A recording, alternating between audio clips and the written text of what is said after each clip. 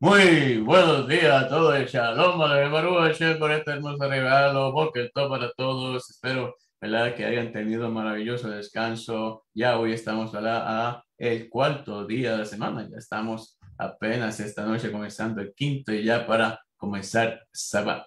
Baruch estamos en la Parashah Sofim y vamos a hablar un poco sobre este tema. Esta noche tenemos, ¿verdad? Dos clases también, Baruch Hashem eh, dos, dos, dos, enseñanzas. Vamos a hablar un poco un tema sobre el miedo en el judaísmo esta noche, ¿verdad? El tema es Softim de la parasha de esta semana y vamos entonces a continuar con la lectura del libro del Jardín de la Almas, escrito por nuestro amado Rebe Rabbi Nachman.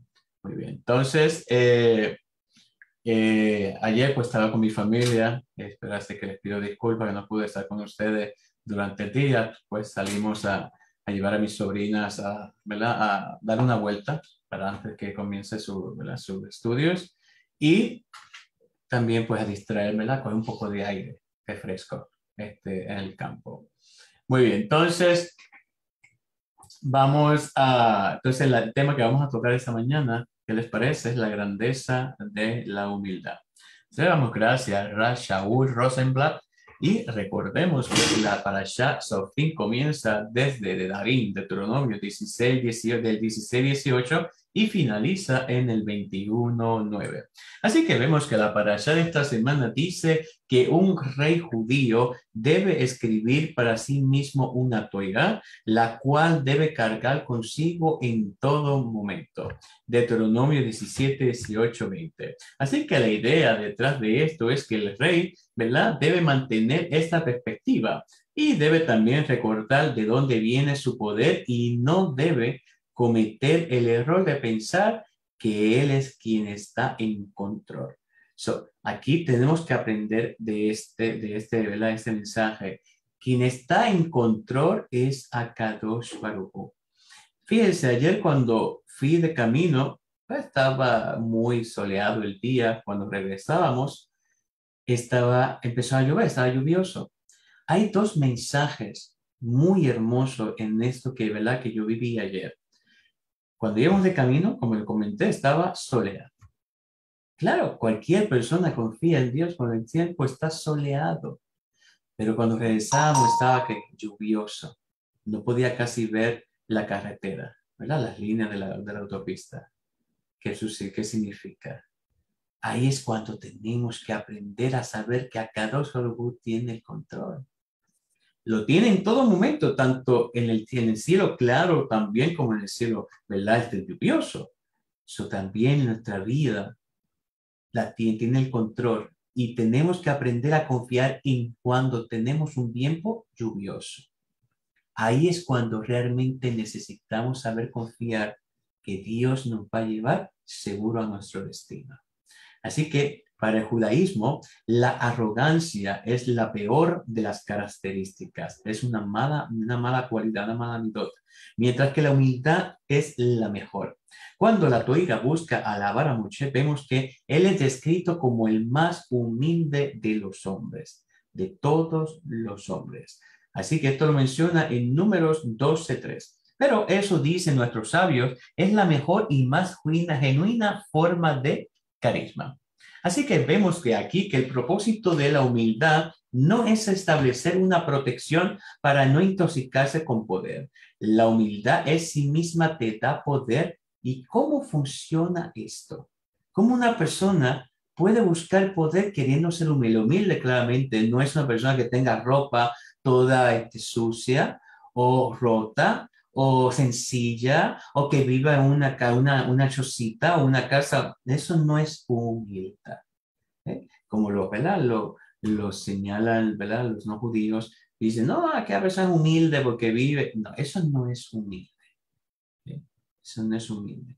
La humildad proviene de adentro, de lo que somos, quiénes somos cuando Dios nos habla, cómo le tratamos, cómo le respondemos, cómo sabemos controlar la, nuestro, la, nuestra, nuestro yesera, nuestro mal instinto, nuestro orgullo, todas esas cosas que tiene, todo el orgullo, la arrogancia, todo, eso es mala inclinación. Cuando una persona sabe controlar eso, sabe que tiende que eh, Dios tiene el control, que no tiene que airarse, que no tiene que enojarse, que, que no tiene que tratar a los demás mal. ¿Por qué? Porque sabemos que el será el justo, siempre va a ver que la persona no es la que está haciendo el mal, sino va a ver que es su mala inclinación. Es como una persona que está enferma, necesita que está enferma la persona. So, la persona, el justo ve lo bueno de la persona y ve que esa persona, al ver lo bueno, sabe que esa persona actúa por su impulso, estará por su impulso animal. ¿Eh? que no la juzga, oh, eh, no, sabe que por su impulso animal, claro, claro, que nos puede doler, porque eso es lo que quiere Yesara, que nos duela, para que cuando el dolor perdamos como que la concentración, como que la, la, la, la visión se nos nuble. Pero eso realmente tenemos que saber que cada persona lidia diariamente ¿verdad? con tantas dificultades, con tantas altas, tantas bajas. Así que humildad no significa falta de autoestima tampoco. Tampoco significa desnigración de uno mismo. Para el judaísmo, la humildad es un reconocimiento de que hay cosas más importantes en el mundo que mis propios deseos y necesidades. Una persona que cobra mil dólares, ejemplo, este, quincenal, vamos a poner, y compra un auto caro, claro que no le va a ayudar, no le va a dar para ayudar a los demás. ¿Y qué pasa? Ahí comienzan las deudas y, las vemos que la persona se pasa rompiendo, no es feliz, la persona no es feliz, porque se pasa pensando en, cómo tiene que pagar aquí, acá, y, el punto es que el mensaje que a cada uno le envía a la persona es que le aumenta las deudas, le aumentas la carga, ¿verdad? La, la, el yugo se lo pone más pesado. Bien. ¿Para qué? Para que esa persona entienda que fue que egoísta. Claro, esa persona va a venir donde Dios y dice, ah, che, tengo este problema, como ha habido personas que están como para los negocios. Ah.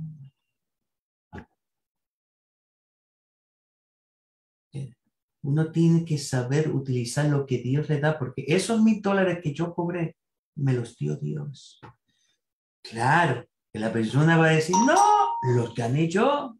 Yo fui el que me levanté temprano, yo, yo, yo, yo. Muy bien.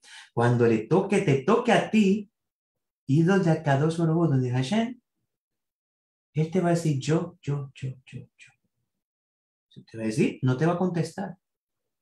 ¿Por qué no te va a contestar? Porque lo mismo hiciste tú cuando él te bendijo. No le contestaste. Hiciste lo que te dio la gana con lo que Él te dio. No somos dueños en esta vida de nada, de nada. Todo le pertenece a Él, todo. Todo lo que tenemos son regalos que hay que saber cómo apreciarlos. Imagínese un niño que se le da un juguete. Vamos a ver, va a dos juguetes. Una persona que puede comprarle lo que puede y otra persona que le puede comprar algo más grande. Esta persona, este, este joven, este niño, es Una persona adinerada. Vamos a poner así. La persona que posiblemente trabaja, pero le va a poner que una, una, una ah, este, nana, vamos a poner una nana, eh, una que cuida niños, ¿verdad? Una, una este, nodriza.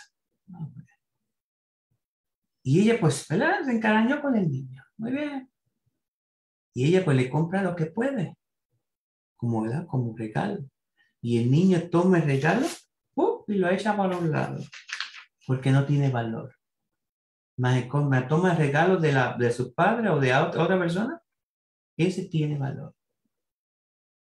Muchas personas así hacen con Dios. Muchas. ¿Por qué? Porque piensan que lo que tiene costo, lo que tiene, lo que tiene costo es lo que tiene valor. No. Lo que no tiene costo es lo que tiene más valor. ¿Por qué? Porque es la humildad lo que sale dentro. Para esa persona lo más importante es ver alegre y valorar lo que esa persona le dio con todo su corazón, con toda su alegría, con todo su amor. Valorar el sentimiento de los demás. Ser humilde es tener perspectivas. Por, por muy talentoso y capaces que uno pueda ser, es tan solo una pequeña parte de este gran universo. La persona humilde se da cuenta lo que es correcto es infinitamente más valioso que servirme a mí mismo. Servir a los demás es mejor que servirse a nosotros. Persona que es egoísta va a terminar solo, va a terminar vacío, va a terminar amargado, va a terminar destruido, va a terminar realmente infeliz. ¿Eh? Una persona comparte, da, claro, claro. Uno tampoco puede ¿verdad? sentarse que alguien te ayude. Tienes que también ayudarte también tú. No es que te siente a ayudar, tienes que ayudarte tú, esforzarte también. ¿Okay? En que puedas lograr tus objetivos. Así que mientras más humilde sea, mejor líder será. Porque una persona humilde no está tan, no está interesada en su propio honor, ni tampoco en poder, ni tampoco en grandeza. Él sirve a quienes está, a quien está guiando. Qué hermoso. Eso es lo que nos enseña cada. Uno sirve a quien está guiando. Para la ley judía, los integrantes del pueblo no son sirvientes del rey. El rey es, es un sirviente del pueblo. El primer rey de Israel, Shaul, no quería el trabajo. ¿Y por qué? Porque apenas un rey comenzó, y, ¿verdad? Eh, porque apenas un rey comienza a disfrutar del desafío del poder, ya no está sirviendo solamente al pueblo. Así que la persona humilde, y como sabemos, muchos dicen que muchos era rey del pueblo. No, no quiso nunca ser rey. Claramente, y es rey, es king, es sacado solo no. Así que la persona humilde tendrá la confianza de las personas a quienes está guiando y no les temerá. Hacer lo que es importante para la nación es todo lo que le importa. Le es irrelevante si el popular, si es popular o no es popular. Lo mismo cuando una persona trabaja, lo importante es que tener un sueldo para alimentar a tu familia, para poder ayudar a otros. Cuando lo haces solamente para ti y te olvidas de los otros, cuidado que no te estés olvidando también de ti. Persona cuando hace eso, piensa, ah, compré un auto carísimo, aquello, lo otro, y termina, piensa que está, que está pensando en sí mismo. Mira el punto. Yo pensaba que era que la persona era egoísta, pero no, fíjese, no es que sea egoísta con los demás. La persona está siendo egoísta consigo misma. Pensamos que las cosas son para los demás, que, que hacemos daño a los demás. No. Nos hacemos daño a nosotros mismos, no a los demás, a nosotros mismos. Porque quien va a recibir la bendición o la maldición somos nosotros, no son los demás. ¿Bien? la persona que piensa, ah, compré un auto que paga 500 o una casa que paga 2.000, 3.000 dólares. Muy bien, soy feliz, no ayudo a nadie. Ok, Baruch Hashem, no ayudaste a nadie. ¿Pensaste que no tienes que pensar a los demás? Tristemente, mírate en el espejo en quien no pensaste fuiste en ti mismo.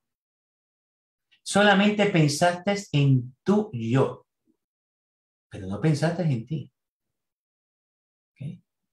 Solamente fuiste que un juguetito en las manos de qué? Del Satán para él lograr su objetivo a través de ti.